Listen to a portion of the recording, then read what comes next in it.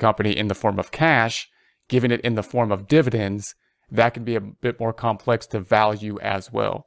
Auditor needs to uh, recompute the stock dividend and trace the entries to the general ledger related to valuation. Now we're going to consider completeness.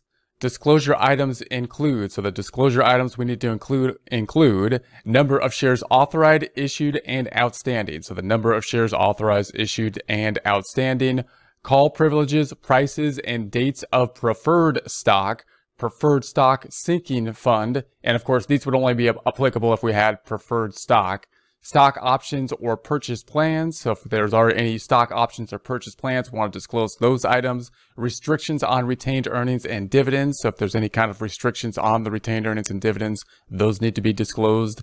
Uh, all completed or pending transactions that may affect stockholders' equity.